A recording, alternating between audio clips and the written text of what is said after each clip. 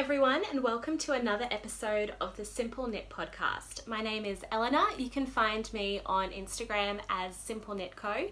and here on YouTube, where I talk to you about all the things that I have been making recently, mostly knitting. I hope you're all well. If this is your first time checking out the podcast, welcome along. It's lovely to meet you. And big hello and welcome back to all of my returning viewers. It's always so nice to see you every episode and have a chat about what we're all making. Um, it was accidentally of like two months since I've last uploaded an episode. There was no real reason for that, just been um, enjoying the summer over here in Australia, where I'm from and where I live. Um, where we are in the world compared to a lot of other places due to the pandemic, we are having a lot of, we have a lot more freedom um, than a lot of other places in the world. We're very lucky that we have very little COVID in Australia. So um, we our lives i mean they're not back to normal or pre-covid conditions but we are able to go out enjoy a lot of activities see friends and family and all of that so um, we're very fortunate um, and now i've just been kind of enjoying uh, my summer but i felt like coming back today and sitting down and just filming a video to show you all the things that I've been working on um, since we last spoke. There won't be very much to see because that's kind of the other flip side too. I've been just doing lots of non-knitty activities and it's also the summer so even today it's quite overcast but it is humid and it is hot and I have all my windows in this room shut because the kids next door are playing outside which is very cute but you know what kids are like. So it's a if I get a bit sweaty um, I apologize but that's just uh, occupational hazard of living in the tropics. So pour yourself a drink. I've got a little coffee here which probably isn't helping with my uh, sweat quota. But I will, um, let's chat, let's chat some making. So the first thing I have to talk about isn't even really, it's not really a making thing, it's just a mending thing. So this uh, black jumpsuit that I'm wearing today, it's my absolute favorite, it's just a ready to wear black linen blend jumpsuit. It's one of my absolute favorite pieces in my wardrobe. I wear it all the time, or I should say I wore it all the time um, until one of the shoulder straps broke. I remember when it broke. I remember where I was when I broke it. It was I was on holidays in I was in Europe in August of 2019 and the strap broke and I mean it is what it is and I looked at it I thought oh, that's a really easy fix it'll take me five minutes so it sat on uh, in a little folded up nice and neatly beside my sewing machine until last month I finally took the all of five minutes that it took to repair. As I just had to shove the strap back in the hole and stitch it up. Very technical. Uh, but as I said it took five minutes. I don't know why I put off doing it for so long but I'm so glad I did because I really really love this jumpsuit. It's really just comfy and easy to wear. So uh, my advice is just to pull your finger out and do that mending job that you've been meaning to do for ages and ages and ages. Um, because it won't take very long and you'll be really grateful that you did it when you can wear whatever it is again. I'm the worst at just procrastinating for a mil I can procrastinate for the rest of my life on really simple tasks. So I'm very very proud of myself for finally just stitching and because it's black, black thread on black, like I didn't even have to be tidy or sensible, just had to be secure. So um, I managed to do it pretty smoothly, like you can't really can't even tell that it's been repaired, which is which is the goal. So let's get on to some knitting that I've been doing. The first thing I want to show you is kind of seasonally appropriate. It's a little Valentine's Day mini skein kit that I got from Danny of Half Baked Hand Dyed. Let me see if I can, came in this little gift box, which is just, oh, glare, so cute. So it is these, um, you get eight little six gram micro skeins of Valentine's themed yarn. So there's four self-striping colors, if you can see those. Super cute. And then four um, solid colors. I haven't used these four yet. So that this is the size that the skeins are when you receive them. This is not going well. this is not going well at all. There we go. Um, that's just kind of the size they are when you receive them. So they're little six gram micro skeins. Um, Danny of Half Baked Hand Dyed, as I said, she um, is a Melbourne based indie dyer. Um, I think probably most known, what I know her most for is her self-striping colorways. So she is has dyed up these little micro skeins that she has designed to make these little um, little love hearts that she's got a free pattern on Ravelry for these little hearts that I will link down below. But um, the micro skeins are specifically designed to make these adorable little hearts. I have three completed ones that do not have their ends woven in because what you do is you make them and then you can stuff them and use them as like little gifts or to make little garlands. Um, but I don't have any stuffing to stuff with which to stuff them. How many times can you say that in one sentence? So I've just been working on them. So there's this really cute one that's like a grey and pink, which is super pretty. Uh, this one, which is uh, beautiful pink and red, which is super Valentine's-y and nice. Um, and it's a really, really simple little pattern. This one is a four striper. So I've got all four of the colors. And then this one that I'm working on at the moment, I'm just about to start the two little peaks at the top of the heart is um, the pink and white stripes. And actually, unexpectedly, I think this these colors have been my favorite so far. It kind of just looks like strawberries and cream. I think it's so cute. So yeah, as I said, Danny's written a free little heart pattern. You don't need to buy a kit to get it. It's just up on Ravelry and any fingering fingering weight scraps you can use. Um, I found for me it takes about um, three grams of a fingering weight yarn. Um, so I could easily, like looking at what I've done and how much I've left, I could easily get two hearts out of each little micro skein.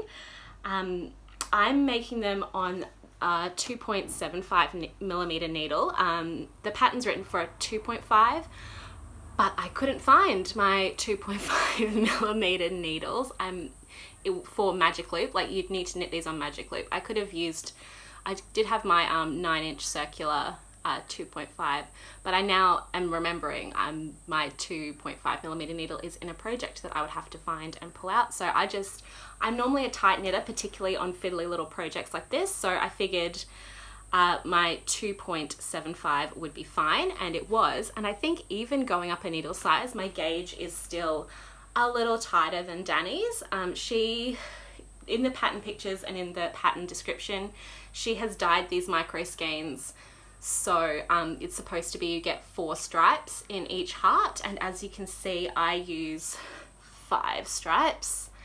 Um, I could probably get get it done in four. No, I would still dip into the fifth. So I kind of use about five five um, stripes completely to make each little heart, which I think is they're just so cute and they just have been so fun to make. Sometimes these little tiny, very satisfying projects takes me about half an hour probably to finish it off. Um, but I've been having a lot of fun this weekend just making these little hearts and I do enjoy kind of heart motifs year round. It's not just a seasonal thing for me. So I think when I have made however many I decide to make, I will put them on a little garland and hang them up somewhere in my house because I think they're really, really cute. And this is just a really, one of those things that was just so cute and fun to get in the post as well. So that is my little slightly seasonal project. I'm not sure if Valentine's Day counts as enough of a holiday to be seasonal, but do enjoy, do enjoy a bit of love chat. And I do enjoy any excuse to tell every single person in my life how much I love them. so that is what I've been recently working on. I have two other big works in progress that um, returning viewers will recall, so I will just share with you where I'm up to on those. And I do actually have, um, I usually don't write notes, I usually just put a camera on and talk when I record these. But actually, it's been so long I actually wrote down what I have to talk about. So feeling very, very organized and virtuous today. And apparently everyone on my street is deciding to just throw throw metal around, but that's fine. I'm sure it won't be that loud. So the first project, long, longest term project that I have to show you is this one here. It is my Ripple Crop Top by Jessie May Martinson. I've been working on this for like seven million years, it feels like. It is a really, really cute, super, super popular pattern. Um, it's really lovely. It's just like a three by three rib, short sleeved slightly cropped top and I'm pretty sure I'm finally, finally at the point where I split for the front and back of the top. Um, as I said, I feel like I've been working on this for 700 years. I normally don't like making fingering weight garments because they take forever. And at the size I'm knitting, I'm pretty sure I'm knitting the size large in this pattern. I have like around 300 stitches on the needle. So yeah, this is kind of taken over because it's quite a small, even though it's a garment, it's quite small and compact. This is taken over kind of as my handbag knitting. And finally, now that we're actually able to go out and do things and be out and about, I'm actually getting quite a bit more done on this. So when I picked it back up, I think in December, I was at this stitch marker. So I have, I have made a lot of progress. That's very satisfying to see. I have made quite a lot of progress. So I'm almost at the part where you split for the front and back and they I'm not I don't I think there might be little sleeves but they're really short so they won't take very long at all compared to the hours of my life that have gone into this top. It's going to be so cute when it's done. I love the color, this really pretty mauvey pink. Um, but oh my gosh, I just want this to be over. If I never knit 3x3 rib again, it will be too soon. So the yarn that I'm using is, um, it's Cartier Ooh, Cartier Polynesia. I think the colorway is called Mauve. It's This yarn is advertised as a DK, DK weight yarn, but that's a, that's a flat out lie. So I'm not sure if you can see there. It is, it's kind of a cotton acrylic blend, so it has a really nice sheen to it but it's kind of this thick and thin texture so it has like these nubs of like unspun cotton which work up really nicely as you can see it just gives it that kind of a really nice texture. Um, it does mean it's a little slippy and not like the most fun to work with and it is actually really uh, sheddy because I wear a lot of black I just look very fuzzy a lot of the time when I'm working on this. I have a lint roller hanging by my door for a reason. Um, but it is it's a really lovely yarn the drape of it's really pretty I think it's going to be really really lovely to wear and as I said it has a really nice shine to it but um, I would not knitting this at a DK weight gauge would be incredibly um, sheer. If that's what you're going for, go ahead, but I definitely think it looks much better knit at a fingering weight gauge. I'm doing 3.5 millimeter needles, which I believe is the recommended needle size. And yeah, I just want this to be over. Um, hopefully it means I will feel really satisfied and appreciate the labor that I've gone to um, to make this. When I pull it out, my mom's like, oh, are you still working on that? It's been that long. Normally, my mom makes stuff as well, so she normally doesn't comment things like that because she knows how long it takes. But she's like, oh, you mustn't work on that very often. I feel like I've been working on it my entire life, but it's going to be so cute when it's done and I'm going to love it and I think I'm going to get a lot of wear out of it. I already in my head have so many outfits that I could wear this with, so based on what I already have in my wardrobe. So give me strength. I will get this stupid top done. This stupid adorable top. So that is one work in progress that I have on the go. The other one is so nearly finished and I'm so thrilled. Um, I won't be able to wear it for like 700 years. Sometimes even on a day like today, sometimes even touching the wool is um, very sweaty. But I am so stoked with the progress that I have made on my Deliciosa jumper. So I'm just going to hold it up and not say anything for a little bit. Ooh.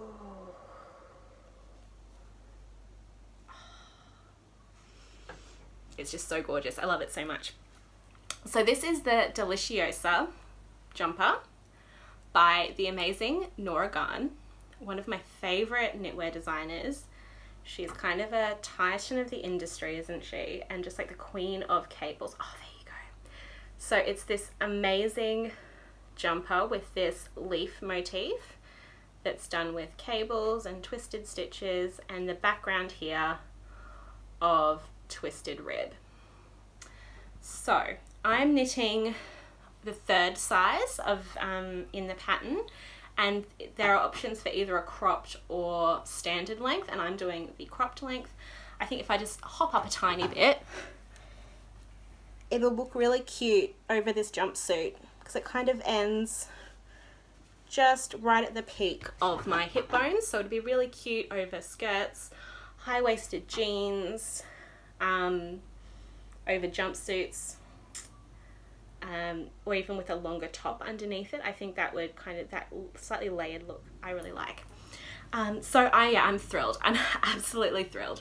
The front and back body pieces have been blocked already because I just couldn't help myself. Um, and then I've done the collar, I've done the first sleeve, and I'm currently working on the second sleeve. I'm using the recommended needle size, I believe, so which is I think, it's a 4.5, isn't it? Yes, it is, a 4.5 millimeter needle.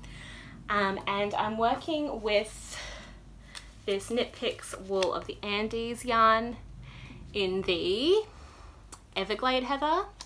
Yep, Everglade Heather colorway. Ooh, boop. Um, that I, I believe I've said this in the last episode, but it's been so long, I don't expect anyone to remember. Um, but I did buy this to make a different jumper like two years ago. I just never got around to making it. And then when I saw this pattern, it was love at first sight. You can probably tell why there's a giant Monstera deliciosa right there that's actually growing a new leaf at the moment that I'm really excited about. Um, but yeah, I have, I'm just in love with this jumper. Um, so it's a it's a pattern for Brooklyn tweed. Um, so knitting the body, it wasn't, it's not a difficult knit, I would say, but I wouldn't recommend it if you haven't knit a garment before or if you haven't done a lot of cable knitting um, because the motif is only charted, it's not written, and it's a like it's a 50 stitch motif, so it's quite a long motif, and it's not like traditional cable knitting where you kind of get into a rhythm because you're kind of drawing and like making pictures of cables. It doesn't have that kind of intuitive, you kind of have to be kind of a little bit glued to the chart while I found I had to be at least glued to the chart while I was working on it. Um, but it's so beautiful and there are so many pretty versions that other people have made using other colors. There's like a really beautiful dark brown one. Um, people have done like really beautiful autumnal colors like oranges and reds and yellows that look really, really like autumny and festive. But this beautiful jungle green um, is very much up my street. So I didn't, I haven't made too many modifications um, making this jumper. Um, the shoulder seams, um, I normally hate doing shoulder seams so I will most of the time do a not bind off the stitches and do a three needle bind off um, but because the um, way the shoulder decreases were there's you still have a lot of stitches on the needles. so working out how to do the short rows to leave the stitches live was just kind of more brain power than I was willing to spend at the time when I was doing it so I did have to seam the shoulders um, and I did it. I mean, I actually went and as recommended in the pattern, because the pattern is always right, as recommended in the pattern, I went to um, the Brooklyn Tweed has a really great like seaming 101 page and using the top to top um, seaming instructions and it has some really helpful diagrams. I just did that and after trying to like crochet seam and do a couple of other things and making an absolute dog's breakfast out of it, I just did what the pattern said and it worked really well. So the only other modification that I did with the construction was with the sleeve construction. So what you're supposed to do is you have your front and back pieces, you you seam the shoulders and then you're supposed to just go and measure down the body, the front and the back to work out where the sleeve starts and ends um, without doing the side seam first and then you pick up the stitches and then you knit the sleeve flat and then you just do one big seam from cuff to cuff. Um, nah, I wasn't to do that. I was not to knit the sleeves flat. Um, this is like the one part, they're just plain stockinette sleeves. So I was like, this is the one part of this pattern that's going to be chill. So I, um, I did what it said at the start. I measured on the front and back how whatever distance it said um, from the shoulder seam the sleeves needed to be and I popped in a stitch marker. I then just match, mattress stitched up the sides and I did really good mattress stitch. Normally I hate doing mattress stitch, but like you can't even see my seams and on the inside they're really neat too. I don't know if you can see that, but that's like the best mattress stitch I've ever done. I'm so proud of myself.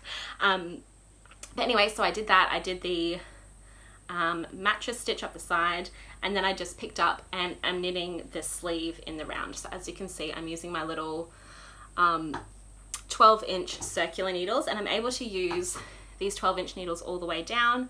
I then go down to the ribbing size, which is a 3.75 millimeter needle. I can just, as you can see, they're quite little cuffs. I can just about get the cuff done um, on the 12 inch circular but it is a little bit tedious because you do there aren't all that many stitches on the needle so this is kind of probably the smallest number of stitches I could possibly do on a 12 point a 12 inch circular I should say um, it would be maybe easier if I would just do a magic loop but I don't know I don't really I'm not really bothered. Um, and I did have to do one extra decrease to get this to be a multiple of four to do um, the ribbing around the cuff because I did have an extra two stitches because I didn't have a seam that I was going to have to account for on the sleeve. So, but that's very easy to take care of. I think from reading people's project pages, I think quite a lot of people um, did this mod for working this jumper just because, as I said, the stockinette sleeves are the only chill bit of the pattern. So if you can avoid purling and back and forthing and this giant seam, I think my sleeve is actually a centimeter or two longer than the pattern. Ooh. But I wanted a really nice long sleeve and they will grow a little bit when I block the whole thing together. Um, but I'm just absolutely thrilled. As I say, not really the ideal climate to have um, something this woolly. I mean, it's going to be winter eventually. I can't even imagine not being sweaty at this point, but it will happen. So I cannot wait until that day um, when I can wear this amazing jumper. I'm about halfway done with this sleeve, so I should be able to get that done pretty soon um, if I focus and get moving. It's kind of big enough now that I don't have to have it on my person. I can work on it with it kind of sitting beside me.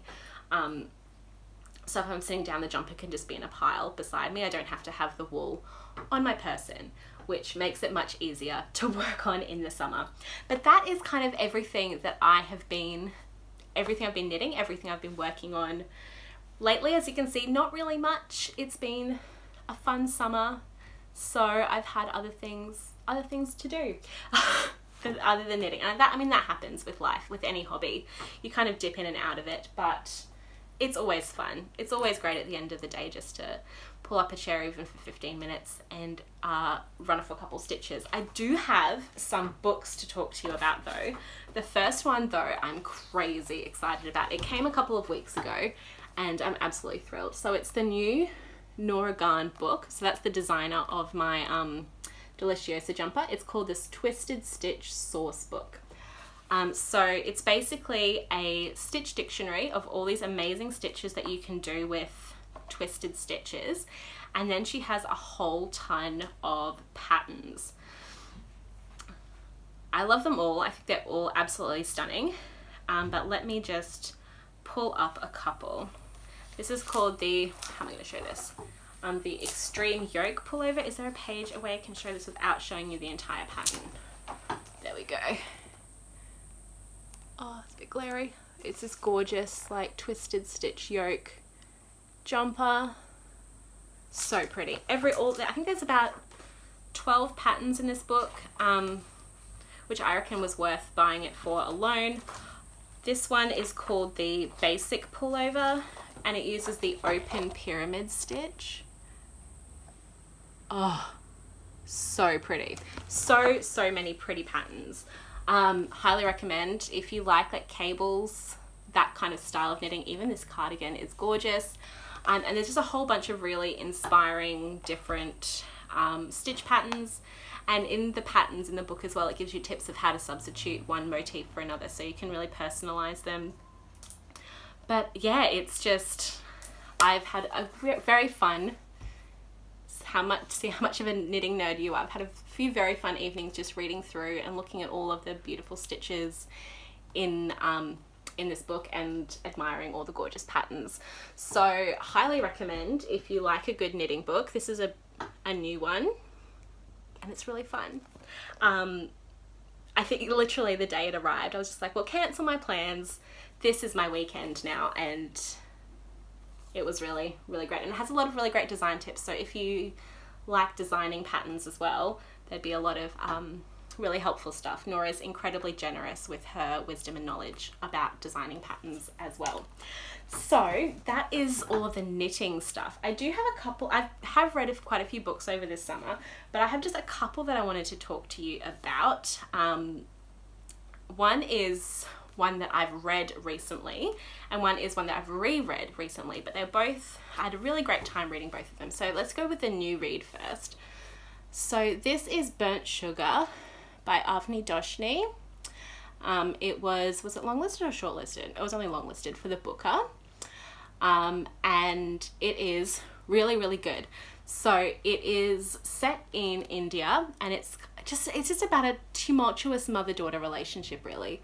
So it's from the perspective of the daughter and her mother is um, beginning to show signs of dementia and it kind of moves back and forward in time and looks at their relationship and the protagonist's childhood. And the thing I really loved about this, um, because um, it is a, like a first person narrated story. Is in the first person? Yes, it is in the first person. Just had to check. But, and it's very like interior, like a lot of interiority from the narrator, but she's very withholding. So you're kind of you're getting the story from her perspective, but she kind of will just drop these bombshells of disclosure and then back away from them. It's just really interesting and a really unique narratorial writing style that I thought was really, really brilliant and would not be easy to do. So, very, very skillful writing from Avni Doshni um, and highly, highly recommend. And the reread that I have is one of my all time favorite books from one of my all time favorite authors. I read it again and it's still so freaking good. Hot Milk by Deborah Levy. I love Deborah Levy. Levy? Levy? I don't know. Deb. I love I've loved everything of hers I've read. I've read most of her books at this point. Um, there's a couple of her early earlier novels I haven't read, but Hot Milk is still definitely my favorite. It's so good. It's the best book to read in the summer. And uh, similar to Burnt Sugar, it's about a very dysfunctional mother-daughter relationship. So uh, daughter, his life is kind of not real. She's in her mid 20s and life kind of isn't really going swimmingly for her, but her mum has some health concerns. And so there's this doctor in Greece that thinks that he can has a clinic that can help her. And so they go over to greece to uh, seek this treatment and she has a very like a great summer holiday experience. But it's really just like looking at their relationship and um, the, the um, this daughter's sense of self um, and it's kind of based on like there's a lot to do with like the Medusa myth in this that I kind of don't know enough about to really say anything intelligent about. But you know when you read something and you know that there's good stuff going on and you're like, oh, one day I'm going to know enough to get it. Um, but not in a way that's inaccessible and makes you feel stupid or anything. I hate it when books do that. Um, but it's really great and you kind of get something fresh out of it every time you read it. It's kind of, it's a very like sensual, sweaty, summery book. So it would be a great, it's not like a light read, but it, as you can see, it's tiny. I think I reread it in one afternoon. Um, but would be a really great like summer holiday on the beach kind of read. Or if you're just into something a little bit atmospheric, bit of escapism for an afternoon. This is very good. Wow, that wind is uh, not joking around with the screen on my door. so, two book recommendations. Um, some knits, I think that's just about everything. I think I managed to do that without being too weird um, and out of practice today. So, how are you guys? Uh, what have you been working on? How has the first few months of the year been for you? Um, how are you coping in your part of the world? I'd love to hear. So please feel free, leave a comment below. Let me know what's going on for you. Um, it's always kind of that's the most fun part of this whole recording yourself in your house business is getting to hear from other people and connect with people. That's the most fun part about having a podcast. So please leave a comment below. Let me know how you're going. Let me know what you're working on. I hope you're all keeping safe and well. And I promise it'll be not quite so long between drinks this time, but have a great rest of your day and I will catch you next time. Bye.